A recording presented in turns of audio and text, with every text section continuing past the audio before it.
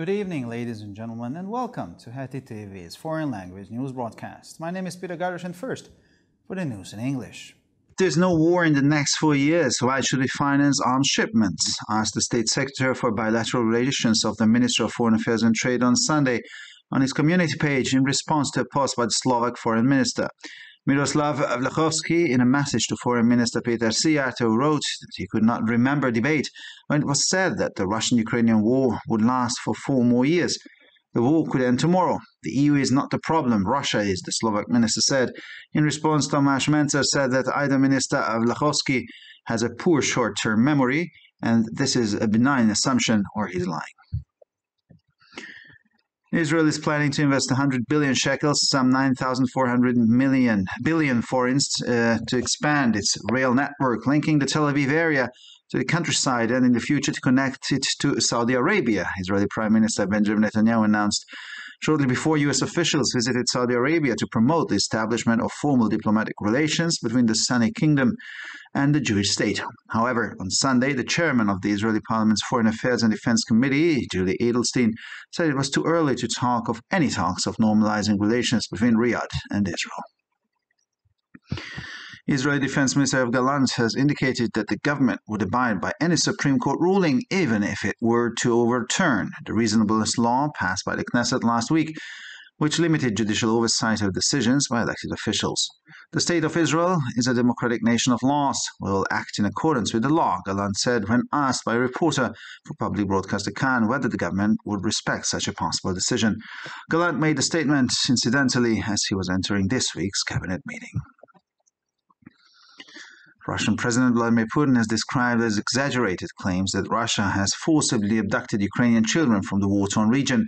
The Ukrainian news agency Union points out at the press conference after the Russia-Africa summit, the Russian president said that there was nothing to prevent the children from returning to their relatives. No kidnappings have taken place. There was an attempt and an operation to rescue children from the war zone. What is it like to have orphanages under artillery fire, he asked. He said the deportation of Ukrainian children was perfectly legal, and the Russian Federation itself had never opposed their reunification with their families. Russia said on Sunday that it had shot down Ukrainian drones targeting Moscow and Crimea, damaging two office buildings in the capital, and that the attack forced the temporary closure of an international airport. One drone flying towards Moscow was shot down in the suburbs, while two others were intercepted by electronic warfare and later struck an office complex.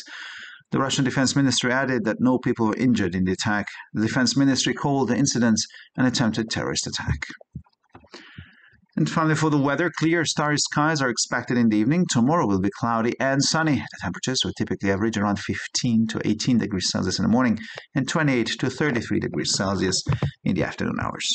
For further news, please visit our websites at www.hetitv.com or broadpress.com. Thank you for your attention so much for the news in English, and now for the news in German.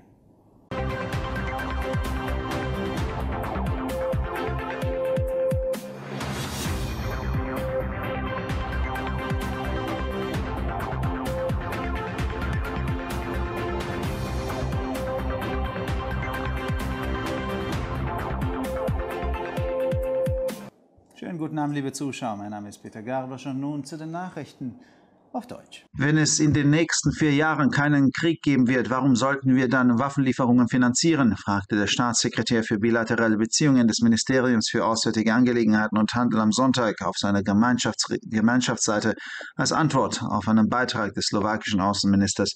Miroslav Lachowski schrieb in einer Nachricht an Außenminister Peter Siarto, er könne sich nicht an eine Debatte erinnern, in der gesagt wurde, dass der russisch-ukrainische Krieg noch vier Jahre dauern würde.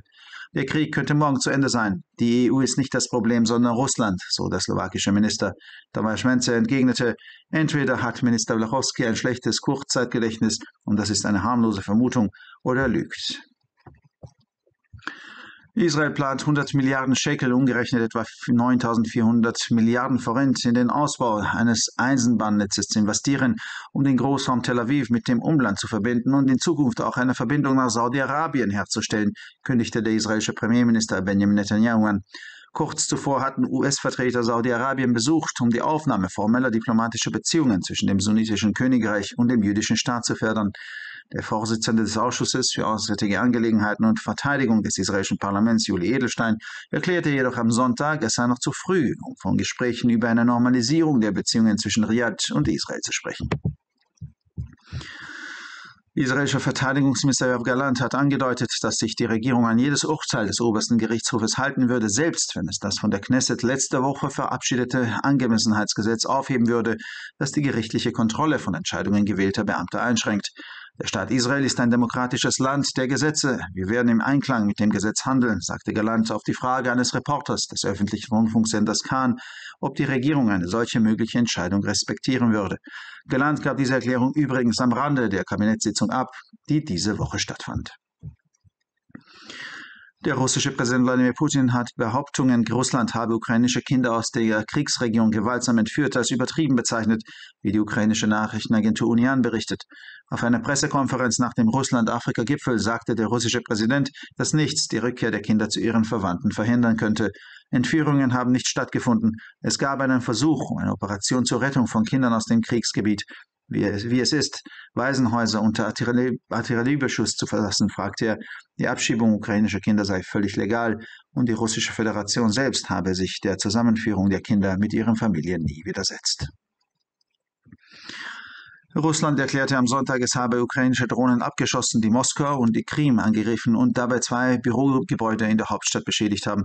Der Angriff habe die vorübergehende Schließung eines internationalen Flughafens erzwungen. Eine Drohne, die in Richtung Moskau flog, wurde in einem Vorort abgeschossen, während zwei weitere Drohnen von der elektronischen Kampfführung abgefangen wurden und später einen Bürokomplex trafen. Das russische Verteidigungsministerium fügte hinzu, dass bei dem Angriff keine Menschen verletzt worden seien. Das Verteidigungsministerium bezeichnete die Vorfälle als einen versuchten terroristischen Anschlag. Und schließlich zum Wetter für den Abend wird ein klarer, sternenklarer Himmel erwartet. Morgen ist es bewölkt und sonnig. Die Temperaturen liegen im Durchschnitt bei 15 bis 18 Grad am Morgen und zwischen 28 und 33 Grad am Nachmittag. Für weitere Nachrichten besichtigen Sie bitte unsere Webseiten www.ttv.com sowie www.breuerpress.com.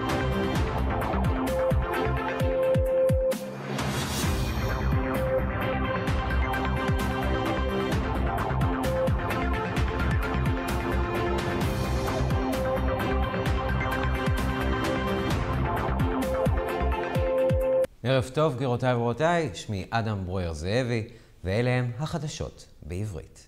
אם לא תהיה מלחמה בארבע שנים הקרובות, למה מממן משלוחי נשק? שאל מזכיר המדינה האחראי על היחסים הבילטרליים של משרד החוץ והמסחר ביום ראשון, בתגובה לפוסט של שר החוץ הסלובקי ברשתות החברתיות.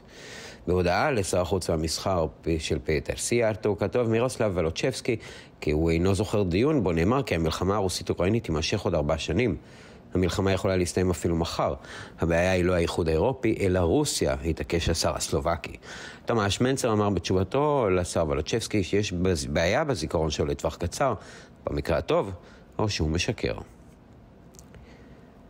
ישראל מתכננת להשקיע 100 מיליארד שקל, כלומר 9,400 מיליארד פורינט הונגרי, בהרחבת רשת הרכבות שלה בחיבור אזור תל אביב עם הסביבה, וכן ביצירת אפשרות לקישור עם ערב הסעודית בעתיד, הודיע ראש ממשלת ישראל בנימין נתניהו. לפני זמן לא רב ביקרו פקידים אמריקאים בערב הסעודית כדי לקדם את הקשרים הדיפלומטיים הרשמיים בין הממלכה הסונית למדינה היהודית.